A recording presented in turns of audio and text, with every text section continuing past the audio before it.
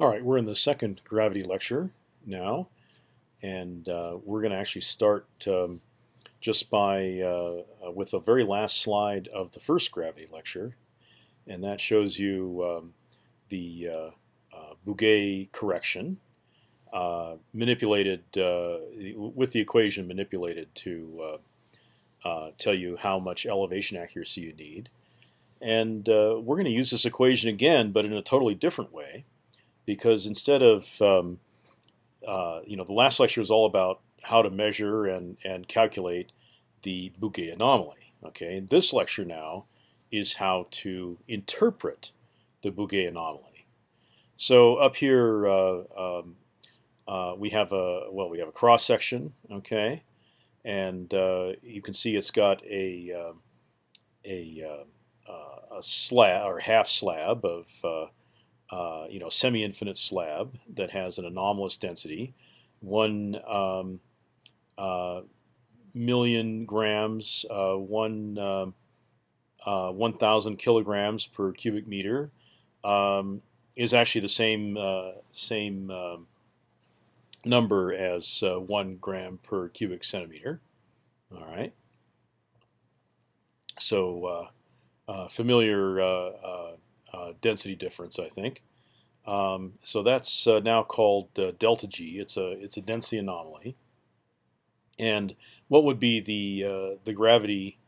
Um, what would be the gravity anomaly, the Bouguer anomaly we would see over that? Well, uh, you know, there would be higher gravity over the um, over the slab than there is not over the slab, right? Because it's a density it's a density excess. Okay.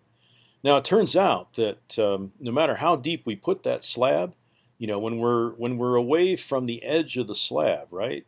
You can see that the anomaly uh, tails off, right, and transitions to the the lack of anomaly. All right, on the right. Uh, when we're away from the uh, from the slab, when we're when we're you know away from the edge of the slab, you know, well over the slab, um, we could put that slab at any depth, you know, between uh, the center of the Earth and um, and the surface, and we would get uh, uh we would have the same value. Okay, so it's it's an interesting thing that um, in some ways, like magnetics, um, we can only detect lateral density variations or lateral discontinuities. Now that doesn't really make, in my mind, gravity a differential method. It's still an integrative method. Um, but and and of course the uh, you know this total uh, Bouguer anomaly over here is uh, being affected by our, our density. But if you ask the the detection question, you know where can we actually see that this slab is present? Well, we need a we we need to have an edge.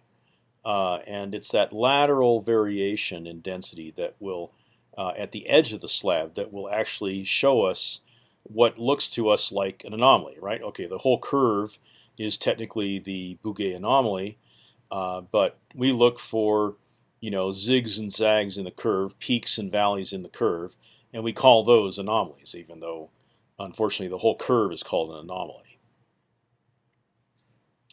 And and the thing about uh, gravity anomalies, and and it's also uh, partly true of uh, of any potential field anomaly, um, and it's partly true of of any um, um, integrative method anomaly. You can have different shapes at different depths, and they produce precisely the same anomaly. So this this delta G curve, this Bouguer anomaly curve up here uh, which has this certain shape, uh, is is produced precisely, not approximately, but precisely by having a, a sphere at uh, three kilometers, or this lensate body at uh, two kilometers depth, or maybe by this uh, you know very drawn out uh, layer, stretched out layer, thin layer, you know slightly thicker at the middle, uh, at uh, 1.2 kilometers. And, and because of that, you know, the, because each of these anomalies produces precisely the same curve, you know, there's no hope of distinguishing uh, what these different uh, between these different possibilities. And so you have to accept that. Uh, you have to accept it in, in ReMi. You have to accept it in electrical inversion. You have to accept it in magnetics. And and here's where we, we first learn, you know, exactly how we have to accept it in, in gravity. Okay, um, any of these um, any of these uh, methods suffer from from what's uh, called in electrical uh, and uh, in surface waves this equivalence problem different anomalies, you know, distributed in different ways that uh, uh, that give you precisely the same data. Okay, um, and uh, we're going to have to learn how to how to grapple with that. I mean, naturally, uh, uh, although the gravity data, you know, won't tell us anything uh, about whether you know whether it's you know one of these particular anomalies or actually some you know any shape in between, right?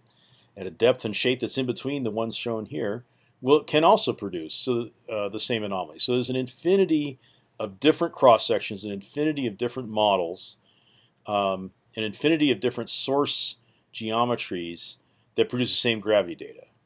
And this is one of the reasons why, okay, um, you know, these these different models produce the same gravity data, but they will not produce, in fact, uh, you know, it takes different anomaly, different shapes, uh, a different type of variation in the shape, to produce the same magnetic anomaly. So you combine gravity with magnetics, with uh, uh, with surface waves, with uh, electrical work, and then you can tell, okay, because they all have different uh, different ways that the anomalies have to be, that the the features, the geology have to be sim similar to produce the same anomaly. And so when you actually combine different data sets, I mean, that's really one of the main things I try to pass on to you in this class. That's how you get around this source geometry ambiguity. Uh, here's another example of source ambiguity. Okay, we have a density excess slab on the left. Okay, so it raises gravity on the left, and and we don't have it raised on the right. Well, you get the same thing if you have a density um, uh, lacking density, right? So here is a, a delta. Um, that's not a delta G. Uh, sorry, this should be a delta rho, right? Density. Uh, these are density uh, uh, variations, delta rhos uh, of um, you know on the top positive one gram per cc, and on the bottom minus one gram per cc. So this is a density deficit here. Okay, and uh, uh, you can see it will produce precisely the same anomaly. You know, same curvature of the transition and everything. Okay, can't tell. So uh, uh here's a more complicated example, uh, and and you know we're going to go through the details of this and figure out you know what exactly is what.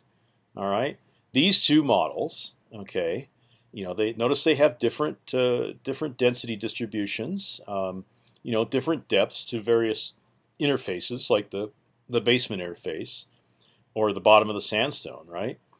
These two models produce uh, exactly, precisely. You know, they're they're. I mean, uh, the two curves produced by these two models will overlie each other precisely. There's no difference. You cannot Using gravity alone, you cannot distinguish these two models. Okay, maybe using uh, refraction, you could distinguish these two models. Um, you know, so there's uh, there's there's ways of of getting around that if you go away from um, from one uh, just one technique. Okay, another way of stating this ambiguity is that any one technique, uh, particularly a potential field technique, doesn't and cannot ever give you a unique model. You've got to bring in some other constraint. You know, of course, you could you, if you had boreholes here, um, you could, and you knew that there was was or was not limestone in this section, then you could tell, right? Of course, you need some constraint from something other than gravity.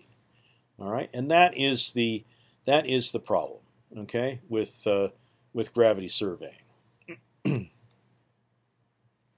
Uh, just you know, here's an explanation of of why uh, a a continuous sheet is um, uh, it, you know, gives you the same gravity no matter what its depth. So, uh, you know, imagine that each of these little uh, blocks along the sheet is is pulling on uh, on these two measurements points, P1 and P2. Okay, and um, you know, if you uh, if you raise or lower this, it's not gonna it's not gonna change the uh, um, the proportion of uh, uh, that's that's pulling on P1 versus P2. You know, you still get a flat line. All right, and uh, you know if you do the integration, you can see that it does not. The final result does not depend. You know, even at one point P1, you know that value of the acceleration of gravity, you know, due to this sheet, does not change. Uh, you know, because of course you got to integrate over uh, every single one on the sheet, right? Uh, it's it's not going to change uh, depending on the depth d. Uh, now, but here is a, a real key to um, you know getting a, a, an approximate interpretation, and then you know you can uh, you can try to match it against uh, um, you know your geological intuition or other information you have. Okay, and, and gravity is really great at doing this. Um, you see a um, an anomaly. You know, you've got a delta g. Okay, and um, it's got a certain shape. It's you could say it's got a certain width. Your your anomaly in the Bouguer anomaly curve has a certain width. Okay, and um, uh, and and that width is going to depend on the uh, the depth of the anomalous body. So down here we've got cross sections below and gravity profiles on top. Okay, and um, you know the deeper the um, the deeper the the anomalous body is buried, the broader and lower frequency, longer wavelength this uh, um, this anomaly will be. Okay, so this dotted one is the deepest one, and that's this very broad, low anomaly here. And the um, uh, the solid lined one is the shallowest one, and it's got the sharpest the sharpest anomaly curve. Now this figure also this slide compares two other things. Okay, um, we're uh, uh, we're looking in cross section here, and um, on the left you know, we're we're going. Our cross section goes right through the center of a spherical anomaly. Okay, uh, a bubble, a sphere in three dimensions. Okay, now what have we got on the right? Okay, we our cross section is through a uh, essentially a an object as what we call that has cylindrical symmetry. Okay.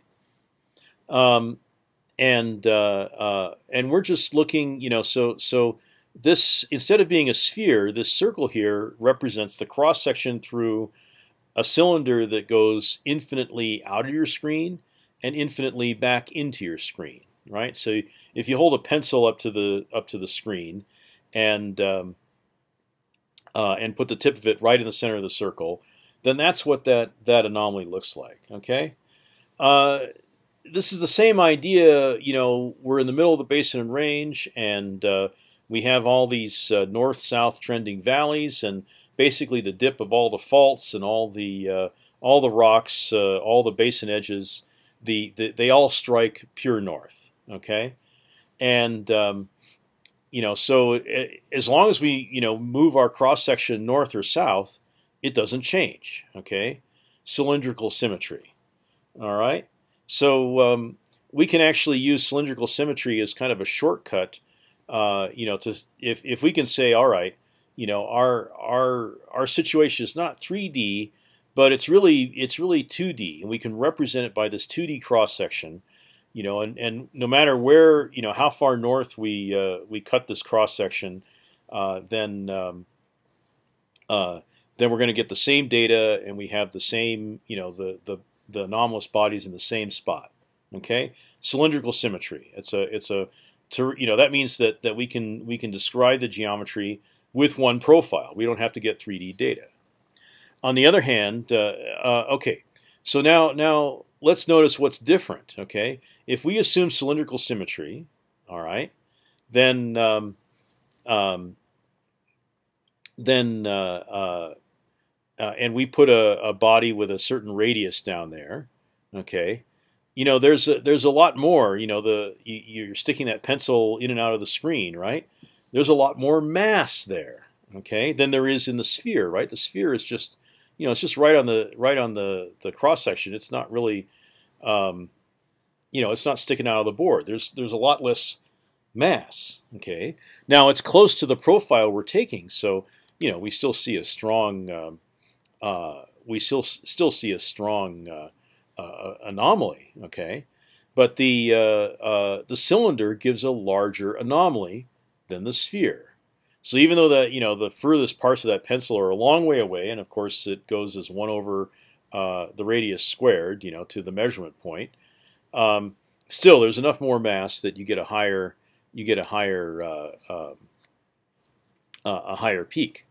But notice this: once you start burying that, it it smooths out faster than burying the sphere does. Okay, so the uh, uh, you know the sphere uh, uh, gives you a an anomaly that stays sharper to deeper. You know, the deeper you push it down.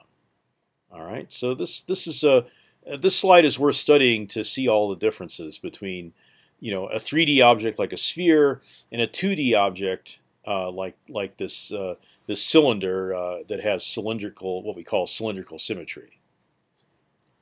Okay, the thing about wavelength again though, all right, uh, we can tell how deep some things are uh, if they have lateral ends. You know, if they end um, at some x. Okay, so uh, you know here's a here's a half sheet, uh, a semi-infinite slab, uh, and it has um, it has uh, you know 0.1 uh, gram per cc um, uh, increased density. Okay, so it's a dense sheet. So when you're on top of the sheet, right, you get a higher value. Okay, Uh, and and if it's close to the surface like it is uh, here, it's shallow. You know, then the anomaly is very sharp and it climbs up to that, that eventual value quite quickly. You push it down in depth, the wavelength is greater, okay? It's smoother, right? And it takes you a while. It's not even shown on the graph. You know, when eventually this line, this anomaly will climb up to the same value as the shallow one. But it's it's going to take it. You're going to have to go out further. Okay, uh, you know, within the graph here, the shallow one is is basically finding its uh, its minimum and maximum, but uh, the deeper one, you know, is maybe twice as far. You have to go two or three times as far away to get to that same maximum and minimum. Okay, so here's a, a this slide is also very nice because it, it gives you some some really handy ways uh, of very quickly estimating the uh, the depth of the anomalous body. Okay. So, um, uh, and again, there's a contrast between uh, um, between the um, um but between the the 3D the 3D body, the the the sphere, and the the cylindrically symmetrical body, you know, that we're doing a dip profile of, um, that is, uh, um, um, you know, that is uh, uh, uh at the same uh, at the same depth and has the same radius and the same density contrast, right? So you know, um, here's here's here's what you can do. Okay, you you notice you have an anomaly. Okay, and it goes from a low, right? You see the anomaly because you can distinguish low values around it to its peak um, uh, Bouguer anomaly value, right? So now you go to where the anomaly has a value that is at half, okay, half of the of the uh, total anomaly, um, you know, the anomaly difference, right? We climb up this anomaly, and we go a certain number of milligals to climb up. We we go to half of that uh, of that peak value of that peak difference, right? And at half of that value, we are a certain distance from the center of the anomaly. We call that the half width, okay? That's the uh, um, uh, that's that's half the width of the anomaly at half of its value. Okay, and so uh, for this half width, then, um, you know, which is easy to measure, right? We, we, can we can we can do this kind of measurement pretty much in the field, right? If we can, as soon as we calculate our um, our at least our rough um, Bouguer anomaly value, you know, bring, by bringing in uh, accurate uh, elevations, right? As soon as we calculate that, uh, we can get the half width. And the depth to the center of the bot of the anomalous body is 1.3 half widths. You know, it's just a little bit deeper, 30% deeper than the uh, the half width. Okay. Uh, now that's for the sphere. Okay. Here for the uh, for the cylindrical uh, symmetry for the cylinder, the depth to the center of the cylinder is equal exactly to the half width. All right. Uh, now these are you know these are back of the envelope you know guessing methods. So uh, you know they're uh, they're not meant to be uh, exact, uh, but sure you know you can definitely tell by the width of the anomaly whether your whether your your anomalous body is one kilometer deep or ten kilometers deep, right? Because the half width is going to be closer to one kilometer or ten kilometers, and that's easy to tell. Okay. Here's a you know here's a really sharp anomaly called uh, caused by a steeply dipping sheet.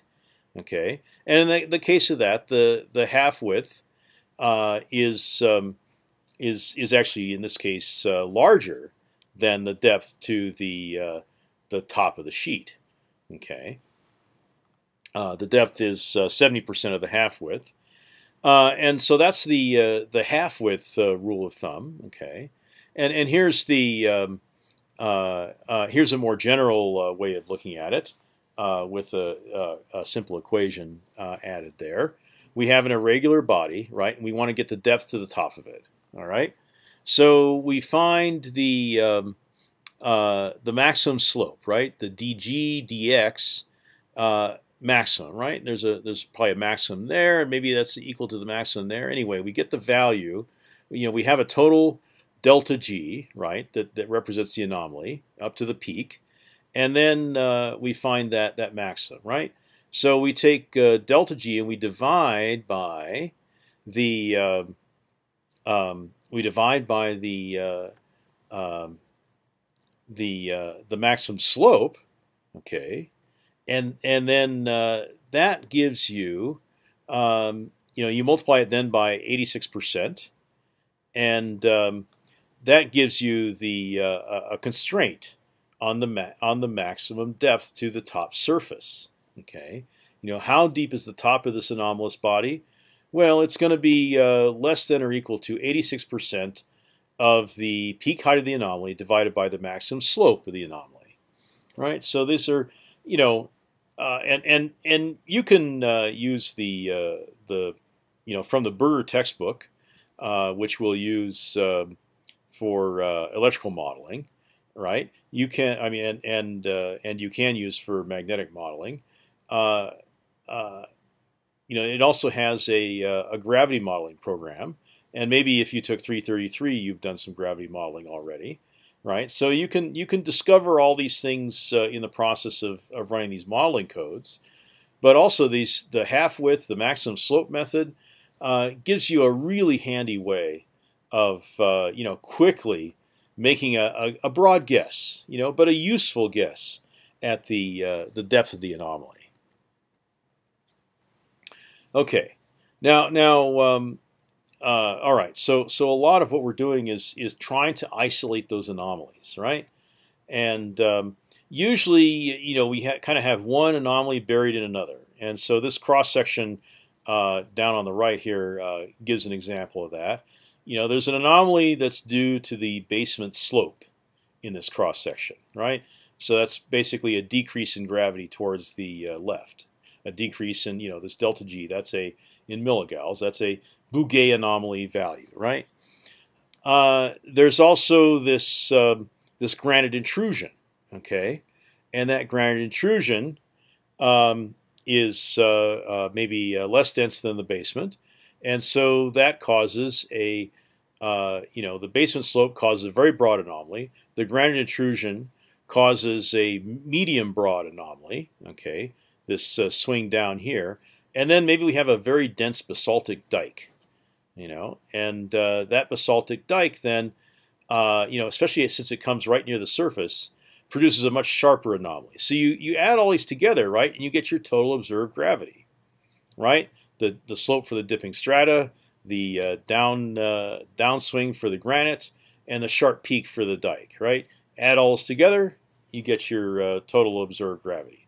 Likewise, when you're looking at, uh, at, and trying to identify anomalies, right, you can kind of separate them out in the same way, right? So first, you know, we observe there's an overall westward tilt to the total observed gravity, right? And so we could we could fit that with a line and take out uh, take out the uh, you know the regional trend, okay? And we our residual is going to include uh, you know the dike and the granite, and we might notice there's a you know kind of a broad low, and we could model that and and uh, take that out, and we what we would have left is the is the uh, uh, is is is the you know what's due to the shallow the shallow part of the dike, right? And you can see that we can distinguish these anomalies because you know the dike is very sharp, very very uh, uh very high frequency, very long, very short wavelength. The granite is is medium frequency and medium wavelength, and the dipping strata you know produces a, an anomaly that's that's very broad, you know, and uh, and very long wavelength. Okay, so um, uh, you know we can go through this process of decomposing the anomalies, and um, and then with you know some other guidance, you know, a structural hypothesis, uh, uh, other data, you know, say refraction data, we can invert the anomaly for the structure. You know, we got to make we got to make some kind of assumption, and then uh, and then we can do an inversion. Okay, now uh, I would I would I would like to push that the first inversion you should always do is the uh, is the Bouguer slab inversion. Okay, and this is very very simple, right? We start with the elevation correction equation, right, which which uh, gives us the effect of the Bouguer slab, uh, you know, and this is uh, basically uh, this rho here is the density above the density of air, right? We we have 0.03083 uh, milligal per per meter uh, that is the free air correction, right? So, uh, and then we this Bouguer slab is really accounting for the difference between the air and the rock that's actually underneath our our measurement point and between our measurement point and the um, um, and the data. Okay, and that rock has a density of rho. Well, what we have to realize is that that density rho uh, that I'm that I'm uh, pointing out here, that density rho, is really the difference in density. It's really a delta rho. Uh, and and when we use it in the elevation correction equation, we use it in the sense that um, uh, it's the difference in density between air, right, which which we're accounting for with the free air correction here, between air and the rock. So it happens to be the total. It's it's a density difference, but it happens to be since it's the difference from zero, it happens to be the the total density of the rock. Okay, and that gives us a uh, a delta G, right? So um, now let's let's assume that uh, instead of uh, you know we're going to have a Bouguer slab that, that instead of being you know above our datum is down you know down below our datum. It's it's you know what we're trying to find. Okay, so we have a Bouguer anomaly delta G, and it's due only to an infinite slab, right? No edge uh, uh of thickness delta H, right?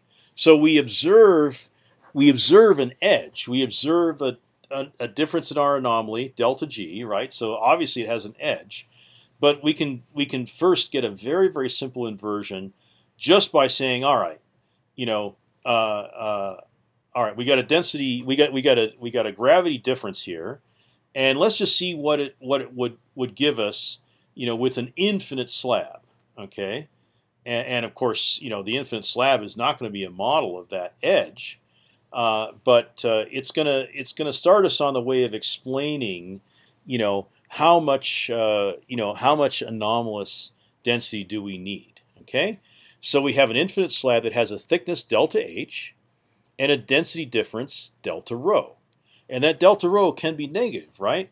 Uh, in what we're doing, we're going to be considering, you know, what is the bedrock um, uh, topography at the bottom of the basin, right?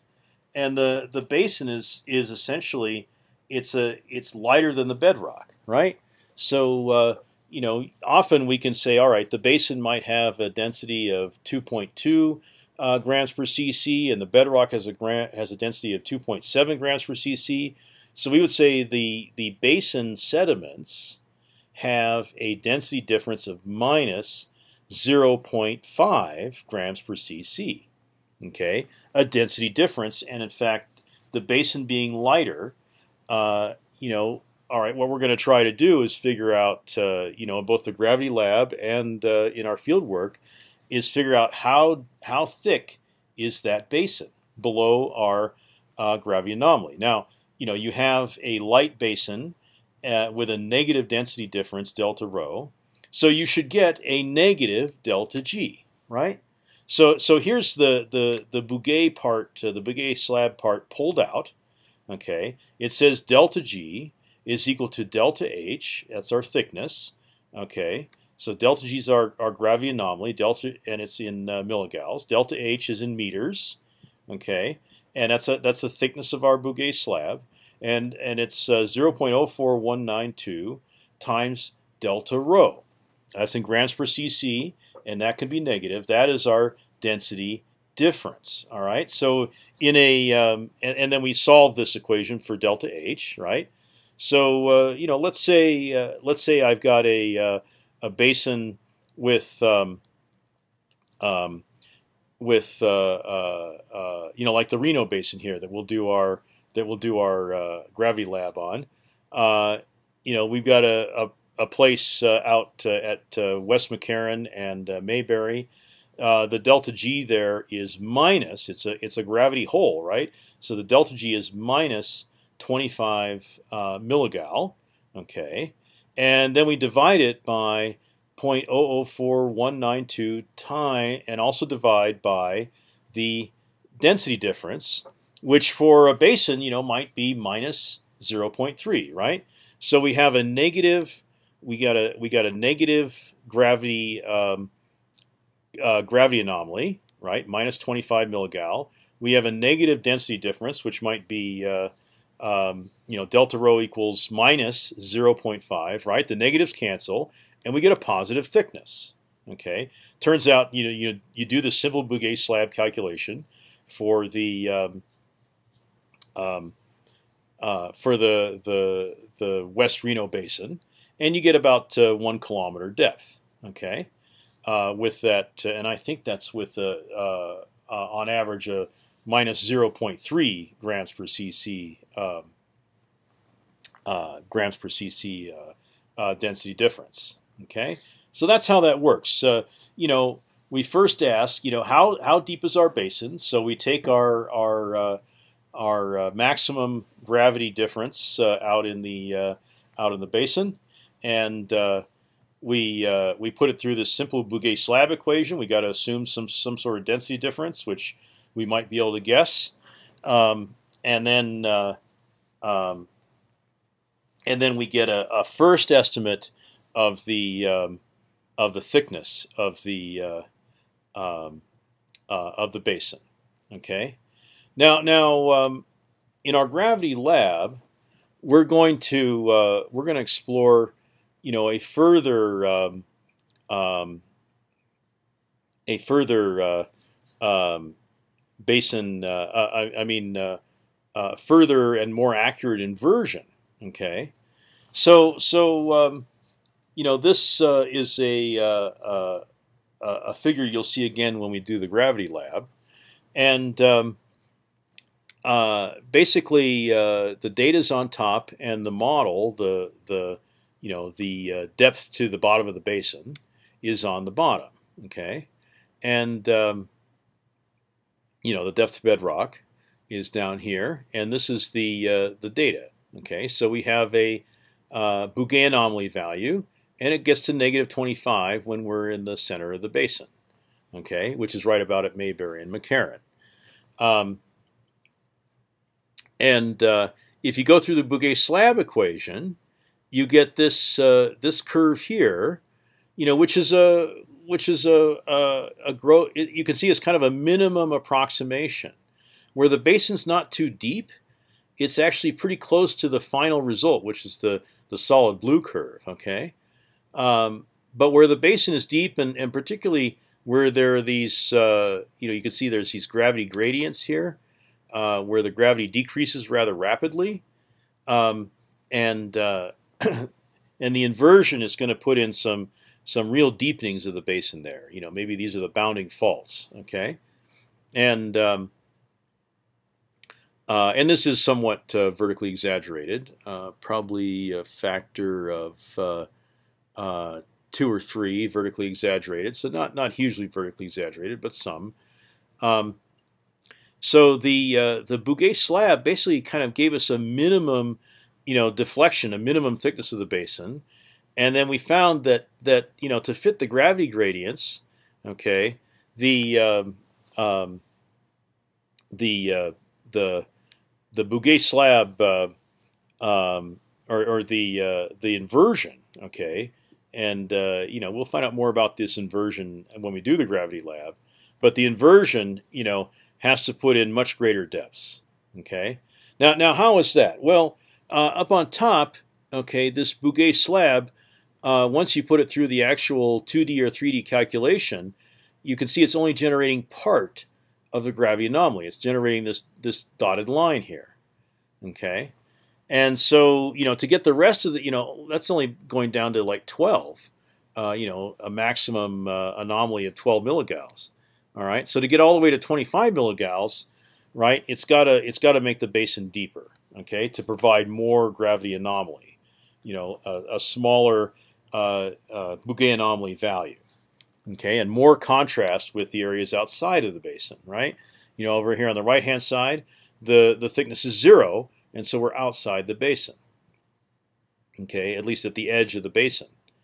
So the Bouguer slab equation, you know, doesn't provide enough anomaly. Over here, uh, actually, near the edge of the basin, you know, where the slope is very shallow, it really is, uh, uh, you know, you, you don't get much better than that. Uh, but then we get to near these gravity gradients. You know, and they're just too steep, and and it's got to put a more of a, a, density hole there to match the the actual gravity measurements. Uh, now this Bouguer slab equation is uh, I'm, I'm, sorry whether it's Bouguer slab equation or actually the the 2D Talwani uh, inversion. Okay, the Talwani inversion is assuming cylindrical symmetry. And I happen to know that you know, and on the gravity map of uh, West Reno, you can see that the um, uh, the anomaly, you know, doesn't extend infinitely north and south. It's pretty much restricted to the West Reno neighborhood. Um, so, uh, in fact, if we did a 3D Talwani inversion, you know, it wouldn't, you know, even this uh, uh this 2D anomaly um, would not uh, would not match the um, or, or, the this this 2D you know cylindrically symmetric um, you know, infinitely north and south extending basin is is uh, not going to match the gravity. It's not going to be quite enough. It's going to have to put in an even deeper basin here to match the gravity data. Okay, and uh, that is uh, uh a difference. You know, certainly you go from the the the 1D approximation. You know, the 1D inversion. That's the Bouguer slab equation, right? Just very simple as, as at the bottom of this slide, right? That gives you a, uh, a minimum depth right? You go to a 2D calculation, you get you get more depth, you get a deeper basin, okay? Um, you know, or or uh, yeah, you get a deeper basin or or more uh, density difference, okay? And then if you go from 2D to 3D, which I'm not showing you here, you'll get an even deeper basin, right? So the 3D basin would be uh, even further down here. Uh, and that's uh, that's kind of how it progresses. You know, 1D Bouguer slab, um, you know that's the minimum uh, minimum thickness, minimum uh, basin thickness. Uh, 2D Talwani inversion, okay, you'll get uh, you'll get a deeper basin, okay, and you go to a 3D inversion, and you'll get uh, an even deeper basin, right? Because there's just you know there's a lot of mass in that uh, in that 2D you know basin that's extending infinitely north and south, and that's not there in the true 3D situation. So you know, to model that same uh, uh, that same anomaly, you got to have an even uh, an even deeper basin. You know, at the center anyway. Here's some other uh, uh, guidelines you can use uh, in you know, just observe from the data and and use those to guide your your modeling. Okay, you know, if you take a, a, you know, let's say this normally faulted sheet, right? Um, and basically you have the uh, uh, the deeper uh, uh, the deeper slab. Uh, you know, you, you get far enough to the left, right, out towards positive infinity or, or negative infinity here. Um, you get you get to the you know away from the edge, and it all goes to the same value, right? So uh, uh, if you just have sheet B, you know it's going to be raised over here on the left, and if you just have sheet A on the right, it's going to be raised. The gravity is going to be raised over here on the right. Okay, but it's all about the shape of the edge, and that's how you can tell that there's faulting. That's how you can tell that um, you know like which side is down, right? Because because look, uh, uh, sheet B is deeper, right?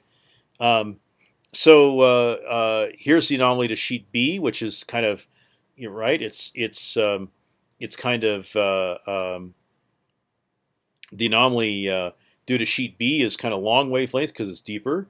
The anomaly due to sheet A is sharper because it's it's not so deep, right? And you add them both together, which which you know is exactly what you need to do with gravity. Just add it together arithmetically, and uh, and you notice that uh, uh, you get kind of this off-center anomaly, right? Uh, and so that's how you can tell which side is up, which side is shallower. And and you can even uh, you know you might be able to make some conclusions about the depth. Now, uh, I mean, sorry about the dip of the of the fault. Now this requires lots of other control, right? You got to make sure that that you know you you you know that this faulted sheet is is uh, is what's producing the uh, the gravity anomaly, and uh, you know, but with some other constraints, uh, you know, constraining information, you really can see the difference in the gravity anomaly and interpret it. So if it's a you know the the the case below, it's a normally faulted sheet.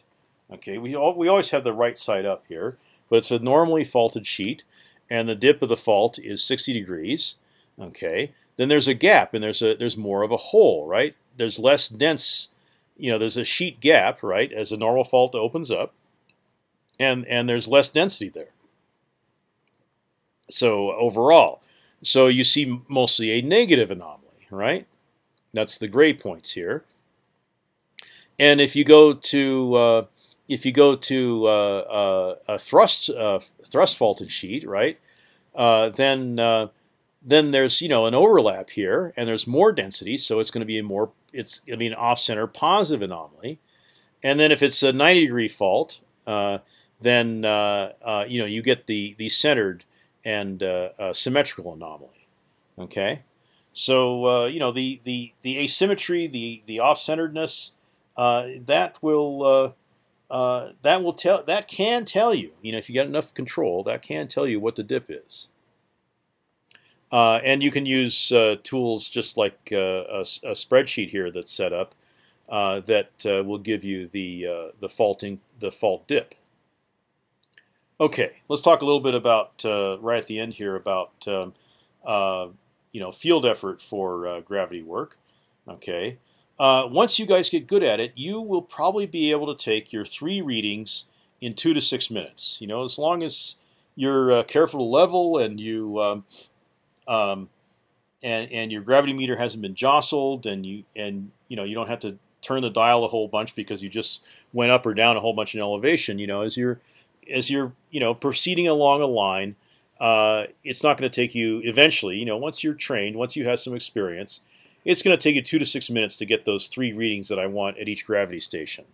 Okay, um, and and actually, uh, uh, when you're using um, when you're using uh, you know post process GPS uh, where you're doing uh, you know dual frequency phase observations, okay, for that accurate velocity, you know differential GPS. I'm sorry, accurate elevation um, you know, one foot accurate elevation. You know, six minutes is about what you need to get the uh, um, to get the uh, uh, the uh, enough GPS data collected. Now we have the privilege of of using uh, uh, the government's real-time RTK unit, and uh, that's going to cut. You know, for similar um, for similar accuracy, that's going to vastly cut the um, uh, the time it's going to take us to uh, to take an accurate GPS reading. So, you know, reading the gravimeter is is is going to be our our uh, you know essential uh, uh, time sink. Okay, if you're using a theodolite, um, you know that may have a similar you know, hopefully just two minutes. But you know, if you're if you're more than a kilometer away from the theodolite with the uh, with the reflector and stadia rod, it might take six minutes to get that uh, to get that uh, constrained. So so you know, each gravity reading isn't taking that long. You know, you might uh, you might be able to get 10 per hour, right? Um, and so really the travel time between stations, that's the controlling factor, okay? And if I have you out walking on the on the east side uh, or or, or uh, to the south, uh, you know, away from roads where we can't, maybe we won't be able, allowed to drive. You know, so really that walking time between stations, that's going to be the controlling factor. You know, it's going to take a, a, minute or two for you to get, you know, the 100 meters between stations. and if the stations are farther apart than that, it's going to take you longer. Okay, and then uh, you know you might need uh, uh, one uh, one day office time uh, for the you know reducing and checking and cross checking the uh, the two or three days worth of uh, of uh, gravity field work. Okay, so that's how you can how you can bid it out. Uh, now you know I'm I'm requiring the gravity group um, to take a look at at the existing data that's in the PACES database. Right, we don't want to repeat too many of of the existing gravity data points that are that are around SURES. Okay, uh, and then uh, as we as we had to do do with our Mount Hood project, we had to actually integrate our new data together with the older data sets, and I'm hoping that you'll be able to do that uh, uh in the uh, uh, in the SURES area as well. You know, we will set our new results into the background of the you know what's what are no doubt being more scattered, more sparse older results. Okay. Uh, and then uh, we're going to have to do some sort of interpretation or modeling, right? We might just use, uh, we might make some conclusions just from observing where the gravity gradients are, uh, and uh, and and check those uh, those gradients to see, um, um, um, you know, to see where those um, and and check those gradients, you know, maybe with a half a simple half width observation uh, just to see how deep, you know, are we are we looking deep enough for this to be the basin floor? That's going to be our question in SURES. Okay, uh, and and you know, this guidance from uh, Gary here is is very uh, is very valuable. You know, simple interpretations. You know, not putting in 50 bodies and uh, and trying to balance everything out. You know, not trying to fit every little zig and zag precisely of the gravity curve, right? Simple interpretations are best. Okay, and and if they if they link in data from outcrop and they link in real information from drill holes or maybe from other geophysical techniques, uh, then they're they're most likely to be valid. Okay, so you know Occam's razor is is the the rule of the day. Um, you know we want simple interpretations. The simplest one that explains 90% of the of the gravity anomaly, that's the one I'm going to be happiest with. Um, and and we'll see what happens when you in the gravity lab. We'll see what happens when you try to invert uh, gravity data too accurately. Okay. So uh, you know the overall cost, depending on you know the distance between uh, stations and all that, and how hard they are to access. Right? Do you have to climb up a mountainside, uh, or or can you just drive to it? Okay, in in 10 seconds, right? So twenty dollars to two hundred dollars per station. You know the accessibility makes a huge difference there. So if you have a field vehicle and um, uh, and uh, uh a gravimeter um, and a uh, and an accurate GPS, especially with this uh, RTK, right? You might be able to charge uh, 900 to uh, 1500 dollars per uh, uh, per field day, right? Uh, that's the the cost for a trained person to to take these kinds of measurements. Okay, And uh, if you're lucky, you can get, uh, you know, for that 900 to 1500 dollars, you know, depending on accessibility again, you'll get 10 to 60 stations per day. Okay. Uh, and that's uh, uh, you know we used to try to use differential L1 L2 carrier phase GPS. Okay, relying on local base stations like around here in southern Washoe County. There's a lot of county maintained stations. Okay, um, and uh, we can easily get that one foot uh, elevation control. You know that uh, 30 centimeter elevation control uh, with with with that. Uh, but you know, we're going to do. It's going to be so much easier with uh, the uh, RTK system that uh, Dan Munger is bringing bringing to us. Um, you know, I expect I expect you know most of our effort is going to go into you know doing the gravity measurements and and to walking across areas we're not allowed to drive, and the GPS is going to be a fairly simple um, simple affair since we're, we're, we have the benefit of using such great equipment. Uh, here's a here's an example. Uh, uh, you know, this is an attempt essentially at a at a rippability study uh, and a void study uh, using gravity. So um, notice that the uh, the biggest void, which is down here in this section. Okay, so a void is is filled perhaps with water, or perhaps with with air. And Medford Caves, Florida that's probably an air airfield uh, uh, airfield void. Okay, and that's producing the you know the two voids together producing the largest gravity anomaly. But you can't see the scale in the video for sure. But if you look at the the notes, you'll see that the gravity anomaly here is only you know 35 microgal, right? So that's 0.03 milligal, which is really at the this is at the the absolute limit of the uh, the resolution, you know, as as we have, uh, you know, proved with classes. That's at the absolute limit of resolution of our gravimeter.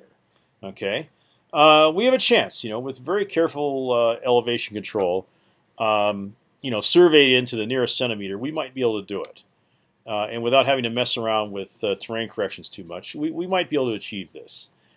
Um, and that's what the voids do. Now notice that these, these anomalies are mimicked you know, pretty severely, especially over here at the right-hand side, um, which I hope you can see in the video.